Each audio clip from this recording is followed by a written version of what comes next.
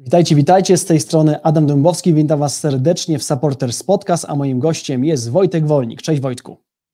Cześć Adamie, witam Was wszystkich słuchaczy i oglądaczy.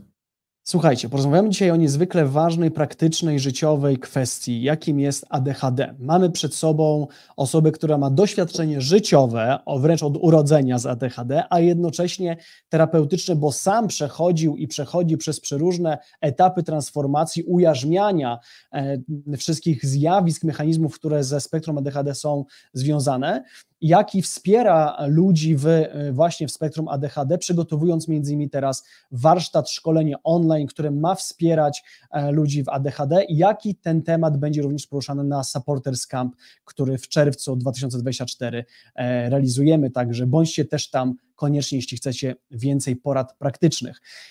Wojtku, zacznijmy z takiej perspektywy na początku. Y, przejdziemy sobie mm, przez Twoje osobiste doświadczenia, tak, żeby pokazać, z czym się borykałeś, z czym, jakie wyzwania Ty miałeś, ale zacznijmy od takiej najprostszej definicji, żebyśmy sobie wspólny fundament znaleźli na potrzeby tej, tej rozmowy i przemyśleń naszych widzów i słuchaczy.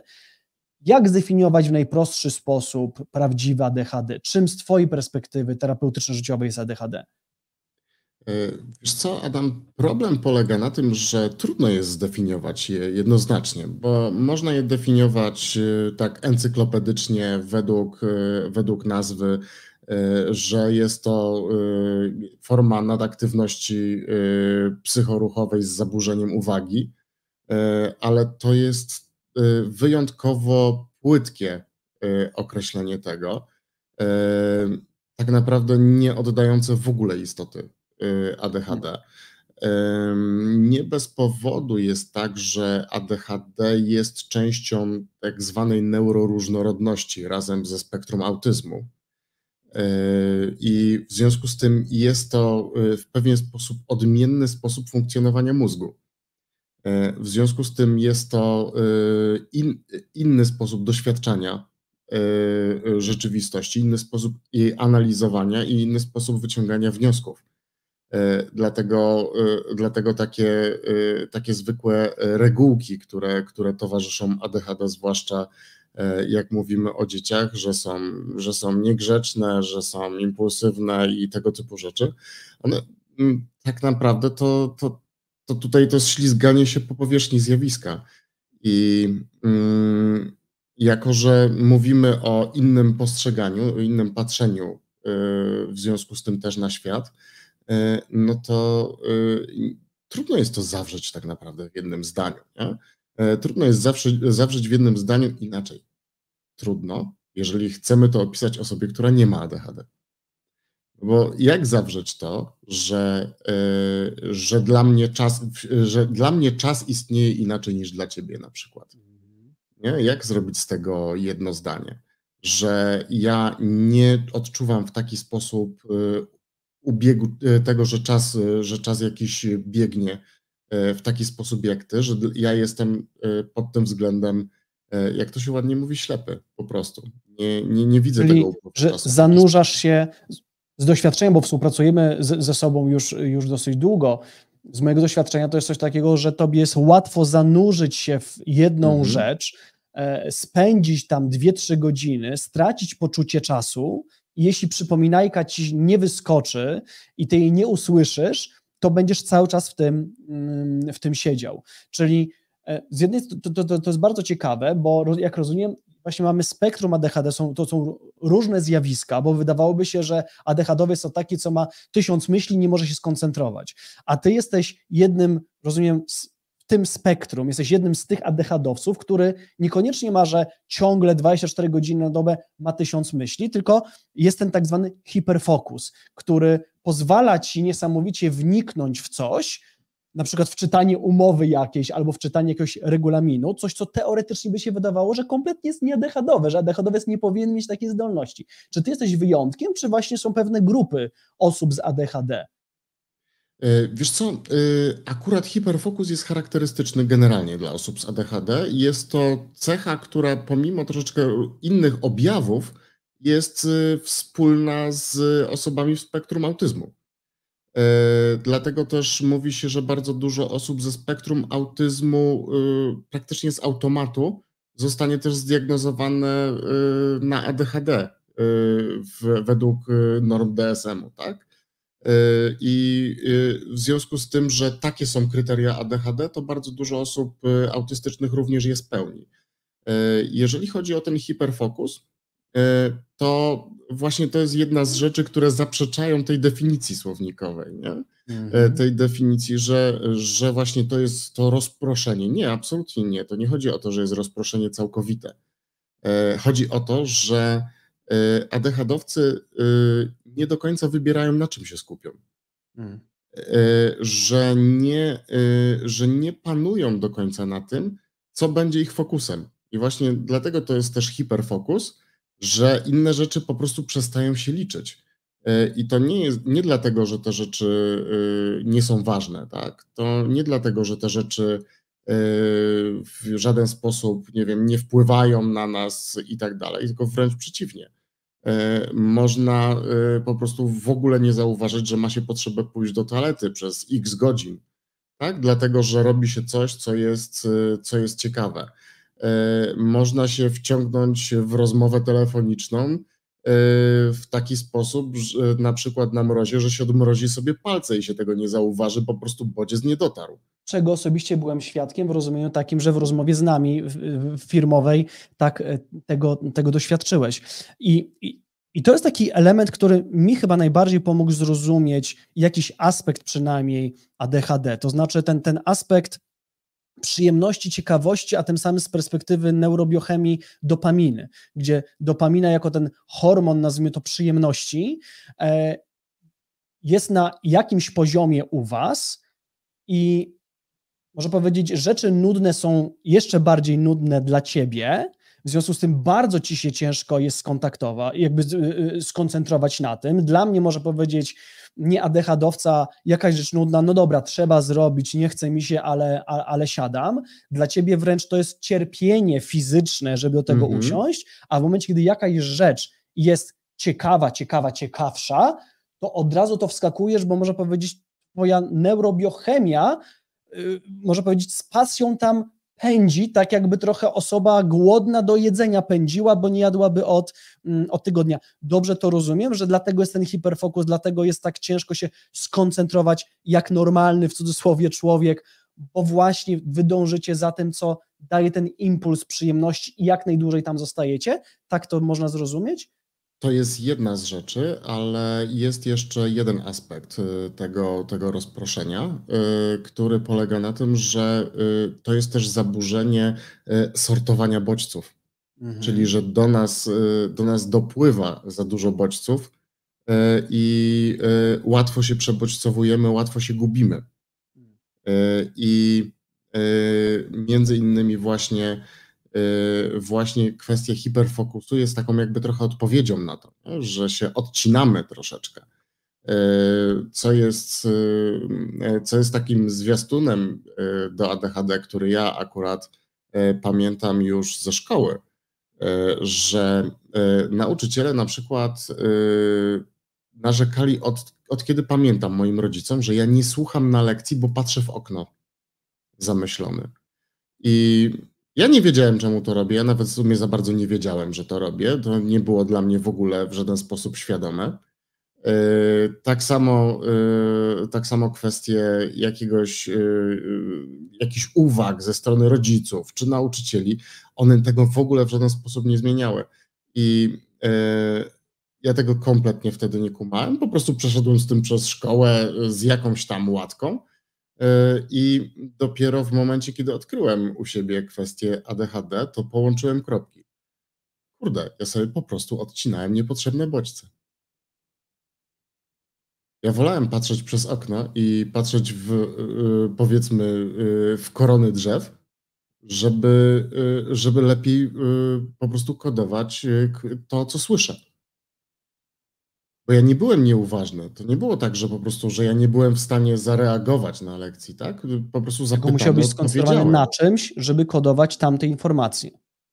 Tylko musiałem właśnie nie patrzeć na, e, na pozostałych uczniów, którzy się ruszają, e, na nauczyciela, który, e, który jakąś tam mimikę ma, przynajmniej niektórzy, niektórzy nie są kamieniem, I musiałem po prostu odciąć część bodźców, żeby inne miały szansę dobrze, dobrze zafunkcjonować. Więc ja się odcinałem w ten sposób właśnie w momencie, kiedy byłem bardziej zainteresowany. To jest taki fajny paradoks, nie? Hmm, no tak, to, to, to bardzo ciekawy paradoks. No właśnie, przeszedłeś do, do szkoły, chciałem Cię zapytać y, trochę o, o to doświadczenie. Jakie byś powiedział, że miałeś klasyczne lub może nieklasyczne w, ram, w ramach spektrum doświadczenia od młodości aż do współczesnego, do, dorosłego życia, które nasi słuchacze, widzowie mogliby usłyszeć i mogli powiedzieć: O, ja tak mam, albo ja tak E, nie mam. I mogłoby to być inspiracja, żeby właśnie zająć się może niekoniecznie tym, że trzeba iść na diagnozę i brać, brać leki, żeby sobie ogarnąć, tylko tak, żeby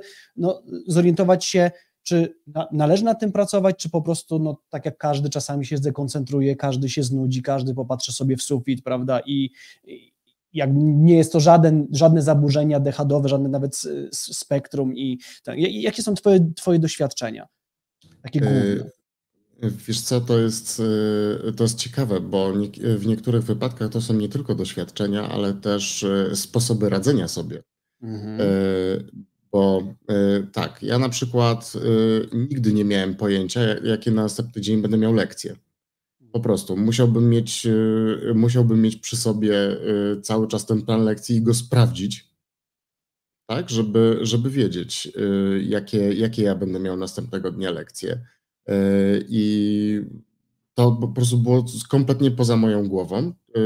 Takie rzeczy kompletnie się nie trzymały i nie układały w niej. E, I mogłem zobaczyć ten plan, i po prostu pięć minut później musiałem znowu zobaczyć ten plan, że jeżeli chciałem po prostu sobie wrócić do jakiejś myśli, że coś mam przygotować, to kurde, czy to było na jutro? A na którą ja to mam? Nie pamiętam. Sprawdzam. Pięć minut później znowu, a na którą ja to mam? I, I, i co to jest? Rzeczy, to jest problem z pamięcią u ADHD? Co to, jaki to jest mechanizm? E, to jest, to jest po pierwsze właśnie kwestia, e, kwestia samego przyswajania bodźców, tak, że plan lekcji nie wywołuje emocji, umówmy się, które by były w jakikolwiek sposób ciekawe. To, to nie jest interesująca rzecz, to jest, to jest bezduszna tabelka. Więc jeżeli w tym planie byłoby coś, co by mnie tak żywo zainteresowało, tak na poziomie emocjonalnym zainteresowało, no to, to ja bym to pamiętał, ale to raczej rzadko kiedy, rzadko kiedy występuje. Ewentualnie jeszcze może być kwestia adrenaliny, która też jest neuroprzekaźnikiem przecież. E, w związku z czym rzeczy pilne też się zapamiętują. E, właśnie na zasadzie, e, że jest alarm, trzeba zrobić, na ostatni moment, uwaga, jest zagrożenie. Tak? No to w ten deseń spoko, w ten, w ten sposób zapamiętasz, ale jeżeli popatrzysz bezdusznie na tabelkę i ona sobie po prostu jest, to okej, okay, tyle ile ją widzisz, tyle, ją, tyle jej masz. A, a jak nie widzisz, to można powiedzieć, że równie dobrze Czyli możesz umysł, ADHD-owca nie przechowuje informacji, które nie wywołują e, emocji, więc każda bezduszna tabelka nie będzie pamiętana. I, teraz co to oznacza? Że możesz zapomnieć, nie wiem, o urodzinach żony, które są za dwa dni, jeśli one nie wywołują emocji, ale jeśli one są ważne, bo to będzie, nie wiem, czterdziestka i wiesz, że żona cię zabije, jeśli zapomnisz, to wtedy będziesz pamiętał? O, zobacz, i tutaj jest właśnie takie ciekawe rozróżnienie. To, że one są ważne że jest czterdziestka, nie spowoduje w ogóle żadnego zapamiętania dodatkowego, chyba że na przykład jest tak, że ja mam zarąbisty plan, który wywołuje u mnie emocje na to, żeby zrobić tą czterdziestkę. Czyli to sam fakt, że to jest czterdziestka i że to jest, i że to jest taki podniosły moment, to równie dobrze może nie być. Nie? Mhm. to, to nic nie zmienia to, to, to nie wywołuje, że coś się zapamięta lepiej. Ale jeżeli ja do tego dołożę sobie coś swojego, jakiś pomysł, żeby na przykład zrobić w jakiś sposób żonie przyjemność e, na tą czterdziestkę, żeby coś zorganizować ciekawego, e, to to już może e, spowodować, że, że sobie coś zapamiętam. Także to, że jest czterdziestka, nie ma znaczenia.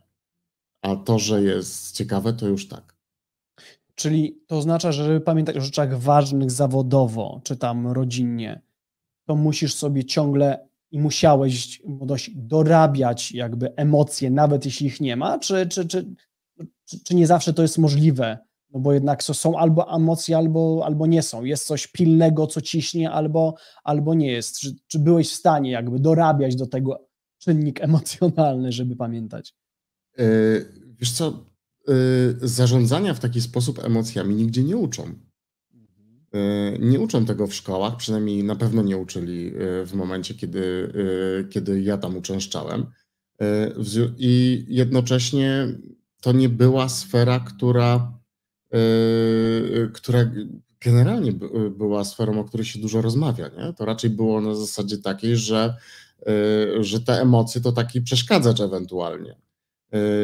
W związku z czym nie było takiej dla mnie widocznej wtedy opcji, żebym ja sobie coś, coś dorzucił. Tym bardziej, że no, przy ADHD mocno się żyje w czasie teraźniejszym, a nie, a nie na przykład rozkminia przeszłość, chyba że tam się wydarzyło coś, co było bardzo, bardzo mocne i może powodować jakieś lękowe sprawy. Ani też ta, to widzenie przyszłości nie jest takie, takie samo. W związku z czym, w związku z czym to tutaj nie ma takiego, wiesz, nie ma takiego bezpośredniego przełożenia na to, jak sobie w sposób naturalny się sobie radzić, nie? Widzi się skutki i raczej reaguje się, raczej reaguje się na skutki. Tak jak na przykład mówiłem, jaki był, jaki był sposób, który był dla mnie naturalny, dlatego że ja nie pamiętam planu moim, moim naturalnym sposobem było to, że ja miałem wszystkie podręczniki w torbie, na przykład. I w związku z tym ja zawsze miałem wszystko, czego potrzebuję, niezależnie od tego, jaki był ten plan lekcji, tak? E, I, I wszyscy uznawali, jaki ten Wojtek uporządkowany zawsze wszystko ma przy sobie. Nie, jaki ten Wojtek jest porąbany, żeby tyle nosić. Ja, ja pierniczę to po prostu dziwne, że nie masz przyczepki i nie ciągniesz za sobą, żeby te podręczniki, żeby te podręczniki mieć, nie? Ale, yy, ale właśnie to są takie sposoby, szybkie sposoby radzenia sobie z takimi mm -hmm. rzeczami, nie? Że okay, no nie mogę się przygotować na konkretną rzecz, bo po prostu nie pamiętam, to okej, okay, będę przygotowany na wszystko. Przynajmniej teoretycznie, przynajmniej na tym na najbardziej podstawowym poziomie, nie? A jakie były wyzwania, które w młodości, nazwijmy to do 20 roku życia, były, ale zarządziłeś nimi już bardziej jako świadomy człowiek po 20 czy 30 roku życia, a jakie funkcjonują do dziś i do dziś są tak naprawdę wyzwaniem, problemem, który cały czas nawet ciężko ujarzmić pomimo całej wiedzy psychologicznej, terapeutycznej? E, wiesz co, to nie są bezpośrednio rzeczy, które e, są ADHD, tym ADHD, tylko to są rzeczy, które w związku z tym, że ma się ADHD, e, powodują problemy w społeczeństwie. E, I, I to są kwestie związane z poczuciem nieprzynależności, bo przecież my przynajmniej na poziomie podświadomym e, no, odczuwamy takie rzeczy jak to, że na przykład jesteśmy z kimś podobni, czy, czy czuje, odczuwamy, że na przykład jesteśmy jacyś inni, niż pozostali, że inaczej funkcjonujemy, że rzeczy, które dla wszystkich teoretycznie są proste, y, dla nas są, dla nas są cholernie trudne i stanowią wyzwanie, tak? No to tego typu rzeczy się odbiera przecież. I w związku z tym narasta bardzo dużo niepokoju związanego z tym, że właśnie nie będzie się gotowym na coś, że E, że się nie sprosta prostym rzeczom przecież, typu, e, typu właśnie nawet e, zapamiętanie, że trzeba było gdzieś tam być, bo i, i się zmieniła klasa, rzucam, tak? I już po prostu się wchodzi spóźnionym.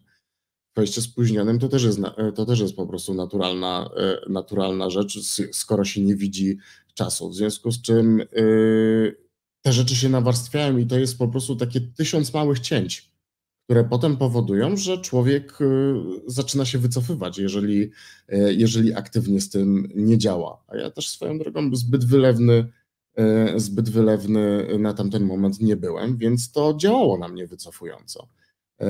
Jeżeli, jeżeli ma się dowody i ma się je cały czas, że proste rzeczy są trudne, no to nie trudno sobie przykleić nawet łatki idioty, nie? Idioty y- gorszy, co obniża poczucie wartości i mhm. powoduje jeszcze większe wycofanie w rezultacie od, od czynności, od społeczeństwa. Dokładnie. I ja takiego totalnego wycofania y, nie zaznałem, tak, do tego, do tego nie doszedłem, ale też pewnie dlatego, że jestem dość ekstrawertyczny. Łatwiej by mi było takie pełne wycofanie zastosować, gdybym był introwertykiem. E, gdybym nie miał potrzeby tej większej ilości, e, większej ilości bodźców i bodźców właśnie też związanych z otoczeniem. E, ja, to też jest na przykład ciekawe, ja zawsze lubiłem dużo mówić. Dla mnie to, dla mnie rozmowa z ludźmi to był zawsze, to był zawsze fan. No ale też się dowiadywałem, że mówię za dużo że tego, że tego jest za wiele i że ludzie się przybodźcowują przez to. Nie? Czyli znowu jest coś, co jest, jest naturalne. To jest dość naturalne ADHD, dlatego że po prostu myśli pędzą. W związku z czym tworzenie z tego ciągów bardziej bądź mniej złożonych jest proste dla, dla ADHDowca. I, I w związku z tym to mówienie nawet często nie, czasem nieskładne, czasem, e, czasem nie do końca nie do końca takie zbieralne do, kupy dla, dla normalnego człowieka, że się pogubi po prostu, no to jest, to jest naturalne. No i potem jako dziecko się dowiaduje, że się za dużo mówi, że ludzie nie rozumieją i znowu to jest coś, co może wpłynąć na to, że się człowiek zacznie wycofywać, że się zacznie zamykać, tak? I tego typu aspekty, właśnie związane z reakcją na spóźnianie się, z reakcją na zapominanie, e, z tym, że co też jest charakterystyczne dosyć dla ADHD-owców, że się po prostu nie widzi rzeczy niektórych,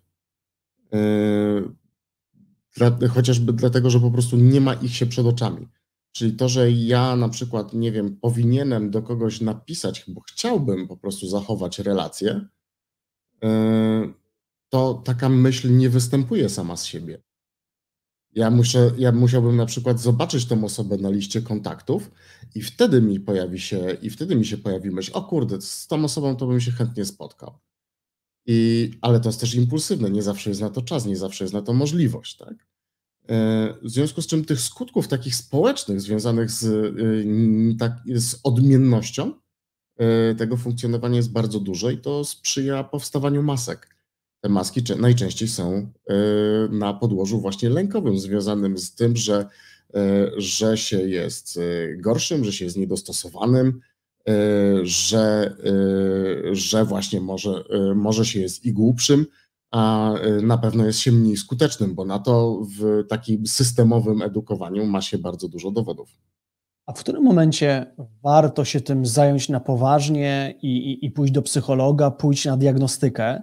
No bo czasami można powiedzieć tak, czy, jeśli by nagrać nasze spotkania firmowe, gdzie jestem ja, Kamila, ty, załóżmy Tomek i osoby, to czasami to ja jestem bardziej adechadowy niż ty. To znaczy, to ja się bardziej kręcę, ty siedzisz jak skała to ja wpadam na jakiś pomysł i słuchajcie, czekajcie, bo mi wpadło do głowy to, to, to, to, to nie? A, a, a to ty albo Kamila jesteście, Adam, ale poczekaj. Albo coś rozmawiamy, myślimy, no tak, tamtemu, tamtemu trzeba byłoby napisać o tym i o tym. A to poczekajcie, to ja wyjdę i od razu mu nagram. Nie, Adam, poczekaj, nagrasz za pół godziny, jak skończymy spotkanie. Czyli w niektórych aspektach to jest ten, ten impulsywny i, yy, i, i ruszający się, prawda? I jakby często najbardziej najbardziej klasycznie, stereotypowo ADHD kojarzymy z tym, że się wierci, nie umie się skoncentrować i że jest właśnie impulsywny. I teraz jak to zrozumieć tak na, poziomu, na poziomie Kowalskiego zaraz? To ty jesteś ten stabilny, to ty nie jesteś ten impulsywny, to Adam, a Adam teoretycznie nie ma tego ADHD, no może ma jakieś mini, mini spektrum, no ale to ty masz te doświadczenia, o, który, o których mówisz, ja jestem ten uporządkowany. Jak to zrozumieć, skoro są tutaj, mamy taką mieszankę, o której przedstawiłem właśnie? To jest właśnie takie, to jest właśnie ta cudowna mieszanka i to jest to, co powoduje, że ta definicja jest trudna, nie? Bo zwłaszcza u dorosłych i dlatego tego, tego się u dorosłych często nie wychwytuje. Jeżeli chodzi o ADHD, to po prostu trudno jest to diagnozować u osób dorosłych ze względu na te rzeczy, które się nałożyły. Dlaczego ja, się, dlaczego ja siedzę, siedzę prosto? Bo ja się tak kurde nauczyłem, bo mnie non-stop upominali, że się wiercę. Okej. Okay. Nie? Czyli po prostu ja behawioralnie yy, poprzez, poprzez te tak zwane wzmocnienie negatywne nauczyłem się siedzieć prosto.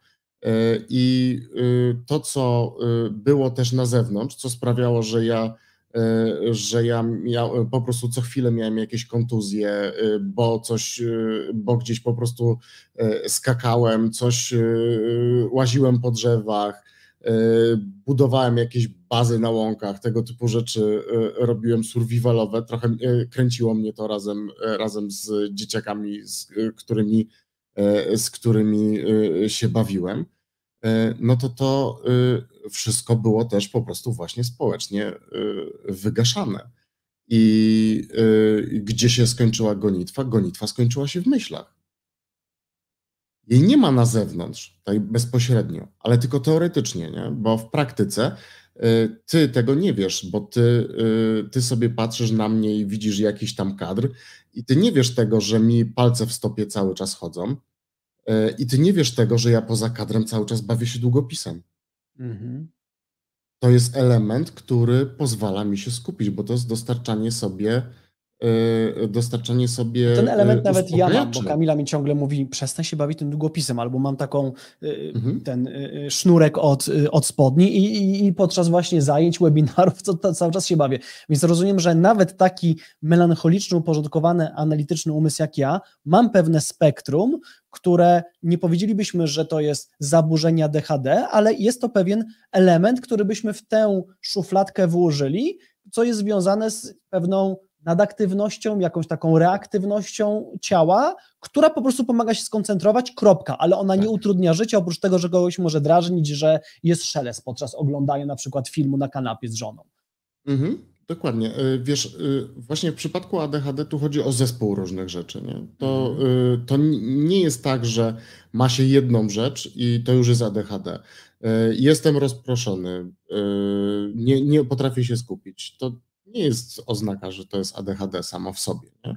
Bo równie dobrze, y, równie dobrze to może być stres, równie dobrze to może być przebodźcowanie, y, równie dobrze to może być y, to, może być to że na przykład zawsze, zawsze nie wiem, uczenie się czegoś było proste, bo ma się po prostu takie zdolności, y, zdolności pod kątem przyswajania wiedzy i nagle zaczyna być coś, co jest, y, co jest trudne, tak? Czyli gdzieś się weszło na wyższy poziom, y, a okazuje się, że po prostu w przeciwieństwie do ludzi nie, nie miało się kiedy nabyć zdolności uczenia się odpowiedniego, no bo po prostu wcześniejsze rzeczy nie stanowiły wyzwania, nie?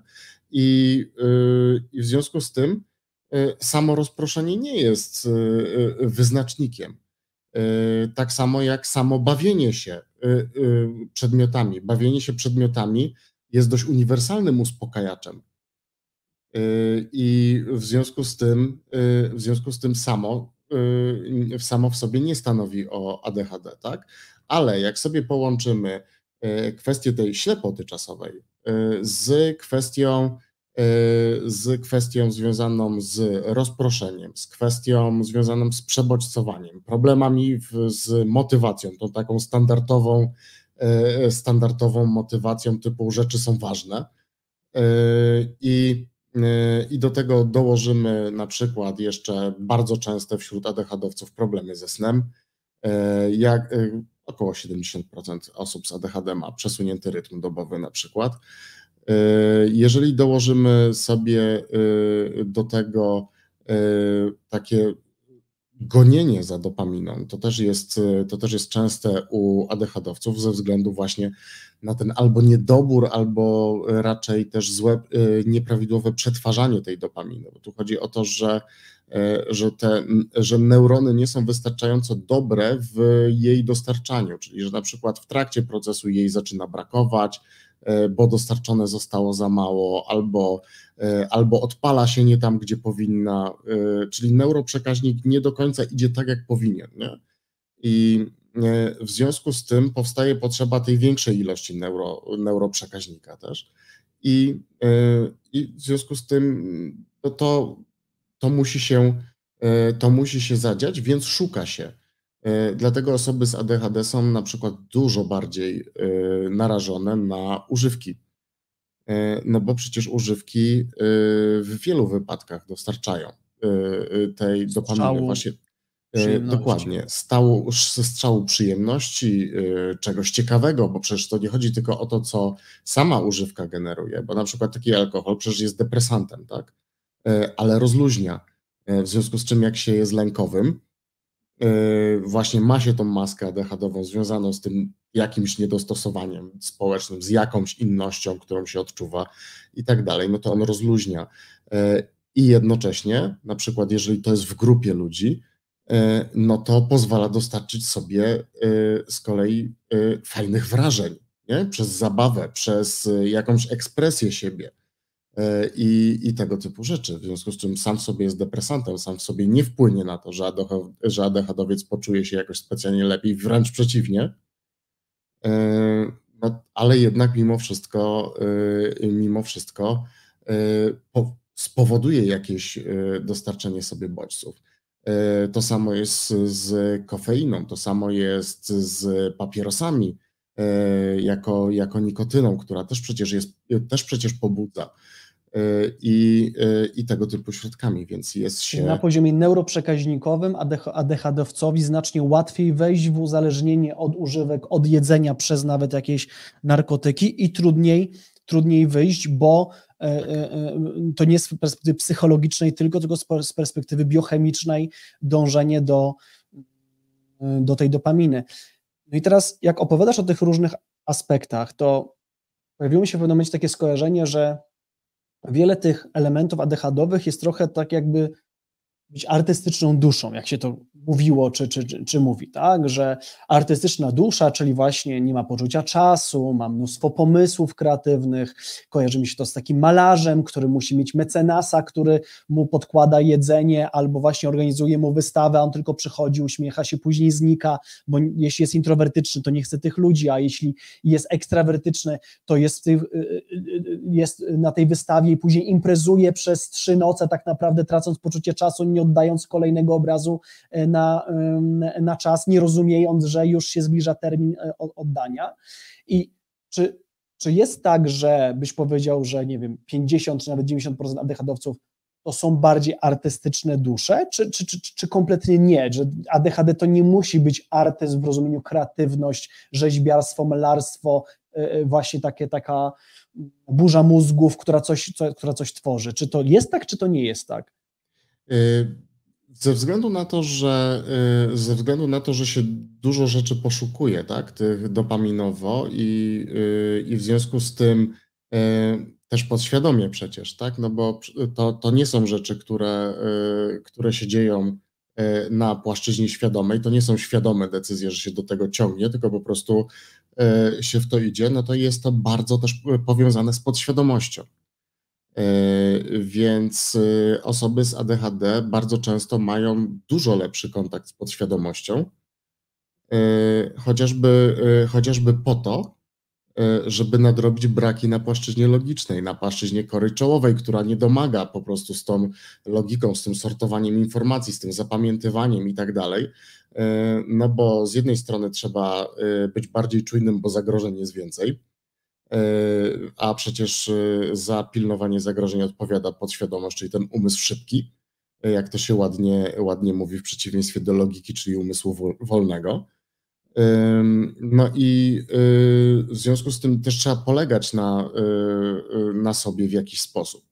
Umysł próbuje cały czas nadrobić te, te braki, E, no i jeżeli, się, e, jeżeli nie ma się możliwości na przykład przygotowania co chwilę, tak, cały czas nie ma się możliwości przygotowania na coś, bo się zapomniało, bo się spóźniło, bo coś tam, e, no to wytwarza się umiejętność improwizacji, no bo przecież z wszystkiego robi tak. się jakaś reakcja, nie?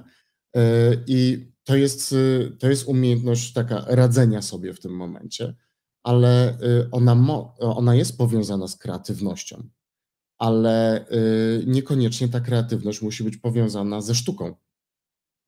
E, bo to może być kreatywność w znajdowaniu nowych pomysłów, to może być kreatywność w łączeniu wątków w sposób niestandardowy, w rozwiązywaniu jakichś zagadnień, które po prostu dla standardowo, nie wiem, w jakimś firmie coś, w jakiejś firmie coś było, coś było cały czas wyzwaniem, przychodzi ADHDowiec i patrzy na to przez 10 minut, a jakby to zrobić tak? Mhm. Nie? I, nagle się, I nagle się okazuje, że to działa.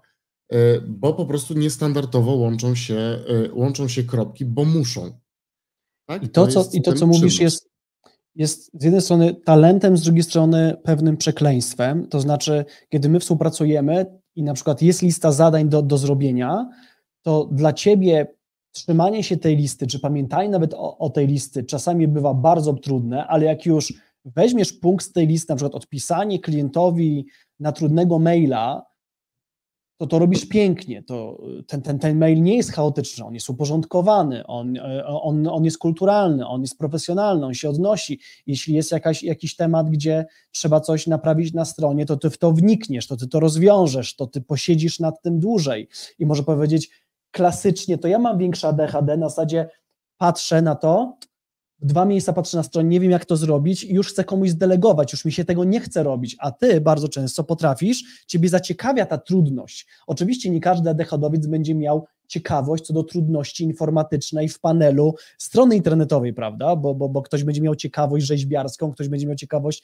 e, e, jakąś inną. Ty masz bardzo często ciekawość związaną z wniknięciem na przykład w regulamin jakiegoś e, firmy, z którą współpracujemy i pochłaniasz to i, ale, i czytasz całościowo. Ale z czego się bierze ta ciekawość, nie? Bo to nie no. jest tak, że po prostu mi się. A, od, od, przeczytałbym sobie ich regulamin, skoro z nich korzystamy. Nie. To jest na zasadzie, oni znowu spierdzielili robotę, ja zobaczę, co, ten, co ich regulamin na to mówi, skurczybyką. Nie? Co oni no. sobie sami tam wpisali, że oni tak. sobie na to pozwalają. Nie? Czyli to jest, widzisz, czyli to jest znowu na adrenalinie. Yy, I to jest powiązane z impulsywnością też. Tak. W związku z no tym. I i teraz ta impulsywność pozwala ci wniknąć w coś, co mnie by nudziło, i to jest ten przykład, że ja mam pe pewne większe spektrum ADHD niż ty w tym kontekście, bo mnie to nudzi, a ciebie to ciekawi. Ale co jest ciekawe, nawet jeśli jakieś rzeczy mnie ciekawią, to ja i tak nie mam tego hiperfokusu, żeby coś pochłonąć, tylko na zasadzie, aha, dobra, przeczytałem, tu wystarczy, dobra, jadę, jadę dalej, bo z kolei mam inny metaprogram myślenia bardziej na poziomie ogólnym, a ty ty masz tak, że i, i widzisz rzeczy bardziej ogólnie, ale w pewne rzeczy wnikasz bardzo, bardzo szczegółowo, co znowu byłoby nietypowe dla ADHD-owca, bo wydawałoby się, że powinien cały czas z kwiatka na kwiatek skakać. Więc jest to, dlatego właśnie ważne jest to pojęcie spektrum i, i, i rozumienia, że, mm, że nie wolno zero patrzeć. No ale właśnie, jakie, jak uczynić, tak przechodząc do takiej teraz ostatniego etapu naszej rozmowy, takiej bardzo praktycznej części, którą i może być przydatna dla naszych studentów e, w szkole, którzy uczą się i poprzez jazdy na żywo online, i poprzez dużą ilość materiałów na, na platformie, która e, no trzeba mieć tam systematyczność, usiąść samodzielnie, kliknąć, obejrzeć 10 godzin materiałów w przeciągu miesiąca. I może być praktyczne pod kątem współpracy z ludźmi, właśnie, którzy są w spektrum e, ADHD, no bo nie, nie możemy ściemniać, że z jednej strony jesteś niesamowicie cennym współpracownikiem, partnerem biznesowym, a z drugiej strony mamy ogrom wyzwań związanych z Twoim ADHD, niepamiętaniem rzeczy albo, albo czymś tam, e, co czasami po prostu aż, aż e, e, wkurza, wkurza i drażni. Jak sprawić, żeby to, co jest Was, ludzi w spektrum ADHD, było bardziej talentem niż demonem, na takich bardzo praktycznych przykładach, nawet patrząc na różne scenki ze z naszej współpracy biznesowej, czy podczas Twojej edukacji w szkole, gdyby tak powoływać różne takie konteksty. E, na pewno, e, na pewno najgorszą rzeczą, jaką e, można, można otrzymać, jest ten ostracyzm społeczny, tak? Czyli, czyli zbudowanie sobie w gronie tych osób, z którymi się współpracuje, czy z którymi się żyje w domu, zbudowanie świadomości na temat mechanizmów działania ADHD, żeby, żeby nie było tak, że te osoby nie akceptują, bo nie znają, tak? Żeby nie było, żeby nie było aż takich przynajmniej pretensji. Wiadomo, że jak się, wiadomo, że jak się spóźnię po raz 15 w to samo miejsce, to to będzie wkurzające. To nie, nie, nie w tym jest rzecz, nie? Ale żeby to nie było, e, żeby to nie stało się czymś, e, co na przykład e, ta osoba, taka osoba zinterpretuje jako, nie wiem, lekceważenie jej. Tak. Nie? Że, żeby nie szła za tym dalsza interpretacja przynajmniej. No bo przecież no, co, jest powiązane z chociażby takim prostym spóźnieniem, e, dla niego to nie jest ważne. On nie szanuje. On nie szanuje, on, e, on e, co, co on o sobie myśli, że on się tak, że on sobie daje prawo do takiego spóźnienia się i tak dalej. Łatwo się jest w to napędzić, nie? I zwłaszcza jeżeli coś się powtarza, a jednocześnie ja nad tym kompletnie nie panuję z tej, z tej, i ja w ogóle z tej perspektywy nie patrzę, nie? E, I e, chodzi o to, Ale jednocześnie żeby... panujesz w takim sensie, że ustawiasz sobie ileś przypominajek tak, na godzinę, do tego, do tego jeszcze dojdę, nie? Ale mówię w tej chwili o tym takim zrozumieniu z os e, osób, z którymi się współpracuje, z którymi tak. się działa, żeby to nie powodowało tych dodatkowych, narastających tak. nadinterpretacji, że, że ktoś jest niezaangażowany, że jest, że jest spóźniaski, i że jest e, rozproszony i tak dalej, i tak dalej, nie? bo na przykład właśnie, bo patrzy w okno, tak jak ja miałem w szkole, nie? czyli o, myślami jest gdzie indziej. Nie, nieprawda. To już była nadinterpretacja, no ale tak. naturalna. Nie? I żeby, e, żeby to stworzyć takie środowisko, to trzeba się samemu postarać, nie? bo nikt tego, nikt tego za nas, za nas ADHD-owców nie zrobi, E, tym bardziej, że no każdy będzie miał specyficzne wyzwania związane z tym, jak pracuje, w czym, jakie ma środowisko, e, z kim pracuje i tak dalej, i tak dalej. E, druga rzecz jest taka, że większość rzeczy uda się tylko częściowo. Zaakceptować to. Na zasadzie, że jak zrobię sobie listę na 50 punktów, to fajnie, że ją sobie zrobiłem. Y, nie dość, że, nie dość, że to przytłoczy, to jeszcze prawdopodobnie tą listę się prędzej zgubi niż zrobi. Y, jeszcze nie, jeszcze nie zapisałem sobie listy na kartce, której bym nie zgubił. Y, jeżeli chodzi o, jeżeli chodzi o kwestie, o kwestie tych rzeczy, które są do zrobienia, to nie można liczyć na to, że umysł sam sobie ustawi te priorytety. Na zasadzie, że my e, czujemy faktycznie, że coś jest dla nas e, istotne. E, to nie będzie istotne, jak tylko przyjdzie pierwszy bodziec ciekawy. Po prostu przestanie. I w związku z tym trzeba przysiąść dodatkowo, w związku z tym brakiem poczucia tej, tej ważności rzeczy, przysiąść nad tym, żeby ta lista też była poukładana, żeby ona zawierała też priorytety, takie przynajmniej logicznie y, obmyślone, że to jest teraz moim priorytetem. Y, I to w dalszym ciągu nie gwarantuje, że to się uda, więc chodzi też o to, żeby się biczować non-stop za to, bo y, to jest właśnie, to jest właśnie ten problem, że jak my się cały czas biczujemy, jak my cały czas funkcjonujemy w stresie i poczuciu gorszości, bo cały czas nie wykonujemy zadań, no to, y, no to w tym momencie y, znowu siebie ściągamy w dół i tak naprawdę zmniejszamy swoją skuteczność. Y, jednocześnie o ADHD-owcach mówi się jako o umysłach łowcy,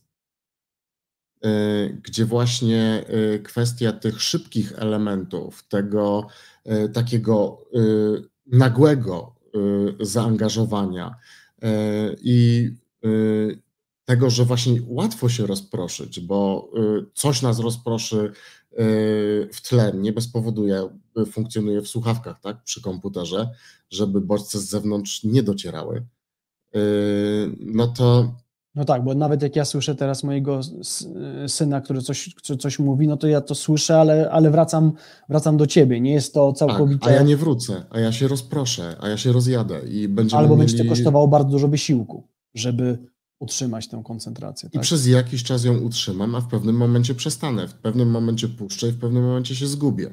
Więc y, żeby zarządzać też swoją przestrzenią, żeby była dla nas odpowiednia, e, a jednocześnie Y, jednocześnie właśnie układać się z tą przestrzenią, w taki, jak, taką, jaka ona jest, nie? czyli nie próbować być tak, takim, jak ci ludzie, którym te proste rzeczy łatwo idą.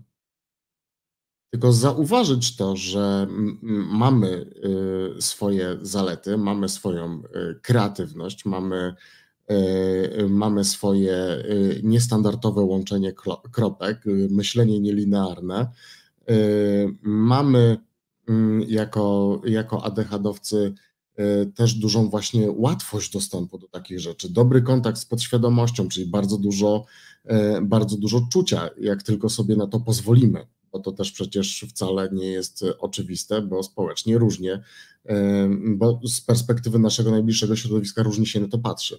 A jak to wszystko wykorzystać w kontekście nawet fajnych rzeczy, ale jednak żmudnych, czyli jeśli jest student, który uczył się na studiach, czy, czy nawet w naszej szkole terapii coachingu i po prostu musi pomiędzy spotkaniami obejrzeć ileś godzin materiałów, albo przeczytać ileś tam stron jakiegoś skryptu czy, czy książki, albo nie wiem, wyjąć z szafy ubrania i posprzątać na, e, e, na wiosnę. Jak podejść do takich rzeczy, które nawet mogą być, wiesz, dla osoby istotne, ważne, ale właśnie nie ma tej dopaminy w tym. Mi najbardziej pomaga wejście w taki tryb odkrywcy w tym wszystkim. Tryb odkrywcy, może tryb trochę szalonego naukowca. E, najpierw nad sobą, na zasadzie po co? Czyli szukanie tego, tej intencji. Po co ja mam to zrobić? Dla siebie po co? Nie po co to powinno być społecznie, nie po co to dla przyszłości, tylko po co dla siebie. Do czego mnie w tym, co mam zrobić, ciągnie? Co jest dla mnie ciekawe w tej tabeli? Jakie pytania mógłbym sobie zadać, które byłyby dla mnie ciekawe? Nie? Czyli y, jak mam, y, jak mam sprawdzić te, y, te rzeczy, to właśnie odpowiadanie sobie na pytanie po co. U siebie, czyli z perspektywy swojego, swojej ciekawości, żeby, żeby do, dotrzeć do rzeczy, które chcę zrobić, a później jednocześnie, żeby też podtrzymać to, no to jest, jest dodatkowo kwestia właśnie tego szukania po co dla elementów, na przykład takiego ćwiczenia terapeutycznego. Nie? A po co jest to pytanie? A co ono ma zrobić? A z jakiej perspektywy, e, z jakiej perspektywy ono podchodzi? O, a to jest ciekawe, tak? I po prostu oddać się troszeczkę temu właśnie jako takiemu procesowi odkrywania, a nie procesowi uczenia. I to jest chyba taka kwintesencja tego, co z ciebie uczyniło jednego z najlepszych absolwentów naszej szkoły, E, co sprawiło, że weszliśmy we, we współpracę, stałeś się osobą, która e, wiele projektów zaczęła koordynować, e, co dla ADHD-owca wydawałoby się oksymoronem. Właśnie to, to, co powiedziałeś, odkrywca i zadawanie pytania o, o intencje, ale rozumiem, że to trzeba robić systematycznie. To znaczy, to nie jest tak, że raz sobie powiemy, a posprzątam szafę, no bo będzie czysto, fajnie, ładnie, będę miał miejsce na nowe ciuchy i przez miesiąc to się utrzyma, albo że powiem sobie, a dobra, to będę studiował ten kierunek, bo to jest fajne, ważne, da mi kasę, da mi spełnienie i przez rok to się utrzyma. Nie, to wręcz rozumiem, trzeba ten proces y, odkrywania tego why, tego po co, tego co jest dla mnie tutaj fajne, ważne, co tydzień, co, co kilka dni, jak rozumiem, bo to szybko zanika. Nie, z perspektywy każdej czynności. Z perspektywy każdej czynności, wręcz codziennie, Czyli... wręcz przed każdym tak, z perspektywy każdej czynności, która sama w sobie nie wywołuje y, tego, tego pociągu, tak? Jeżeli, y, jeżeli na przykład y, w szkole terapii i coachingu, tak, jest filmik, materiał po prostu szkoleniowy i ja widzę tytuł, widzę co to ma być, to ja w tym tytule muszę poszukać swojego po co. I w następnym filmiku znowu będę musiał poszukać swojego. A później w tym filmiku do punktu 10b też szukać te, te, tego po co. Tak. I to z ciebie uczyniło człowieka, że ja w pewnym momencie, jak za ciebie słuchałem, jak prowadziłeś pierwsze zajęcia, mówię, skąd ten Wojtek to wie? No jakby rozumiem, że jest inteligentny, ale skąd on to wie, nie? A to okazało się, że żeby ujarzmić pewną swoją cechę, żeby nie stała się demonem, ty właśnie wszedłeś w ten tryb po co, w tryb odkrywcy i to się stało twoim niezwykłym e, e, talentem, że nagle ty wiesz dokładnie, nie potrzebujesz skryptu, nie potrzebujesz wracać do materiału, bo ty to głęboko wgryzłeś. Oczywiście, czy to wymaga większego wymużdżenia się i, i zaangażowania, no może powiedzieć, że, że tak, ale później z tego jest z tego korzyść. I, I tak, i myślę, że to jest niesamowicie, niesamowicie ważne. I my, jakby cieszę się, że mam nadzieję, że w tym roku powstanie ten, ten kurs, który przygotowujesz. Y, Preludium będzie na Supporters Camp w czerwcu, na Twoim wykładzie, na warsztatach, właśnie z praktycznego y, wykorzystania ADHD i, i, i z tego, czego my możemy się, nie ADHDowcy, nauczyć od, od ADHDowców, a jednocześnie właśnie gdy wypuścisz ten kurs, ten, ten, ten warsztat online, to to myślę będzie nie tylko dla naszych studentów bardzo cenne, ale dla wszystkich osób, które z innej perspektywy chcą podejść, bo jednak jest tak, że nawet kto się tym interesuje, to idzie bardziej w diagnostykę i wytłumaczenie i znalezienie sobie wymówki, albo idzie w jakiś sposób, żeby okej, okay, no to jednak muszę uporządkować siebie, żeby odnaleźć się w społeczeństwie, a ty podkrywałeś i w literaturze, i poprzez badanie, i poprzez własne doświadczenia sporo różnych takich niuansów, które mogą mogą pomóc. Czy na koniec naszej rozmowy, myślę, że jeszcze nie raz do tego tematu sobie wrócimy, jakiś apel, manifest do y, waszej rasy ADHD-owców chcesz przekazać? E, pozwólcie sobie być innymi. I znajdźcie w tym wasze mocne strony. Każdy biznes, każdy, każdy pracownik stara się być odpowiedzią na jakieś potrzeby. ADHDowcy, my możemy być odpowiedzią na potrzeby, na które nikt inny nie potrafi odpowiedzieć. I w związku z tym możemy być niesamowicie skuteczni w miejscach, gdzie inni mają trudno, gdzie inni mają podgórkę. Tak jak inni mają łatwo, miejscach, gdzie my mamy trudno. To nigdy nie jest tak, że, yy, że nie ma plusów. One po prostu nie, nie, zawsze na nie patrzymy w tym zgiełku yy, rzeczy, które w nas walą, tak? Yy, z perspektywy społecznej. Ale spójrzcie na, to, na tą drugą stronę. Spójrzcie na to, co macie, a nie na to, co mają inni. I bierzcie to bo to jest złoto. I szukajcie na pewno e, z jednej strony jednak zdolności ujarzmienia pewnych rzeczy, zarządzania pewnymi rzeczami, żeby, e, e, żeby się odnaleźć tam, gdzie chcecie, ale z drugiej strony szukajcie tego miejsca dla siebie, które możecie, w którym możecie te swoje talenty, jeszcze często pewnie nieodkryte, wykorzystać.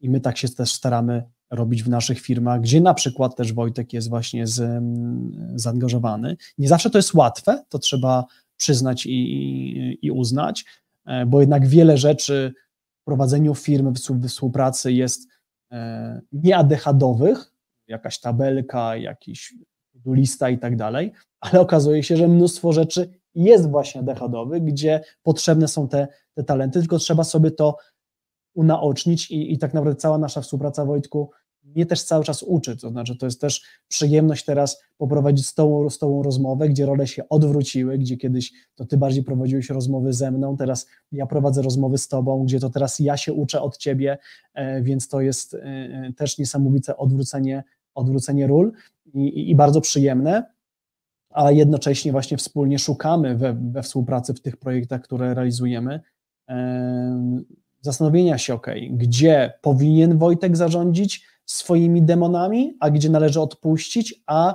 gdzie jest miejsce na jego talenty, żeby się jak najbardziej gdzie, płynnie Gdzie to spuścić ze smyczy, nie?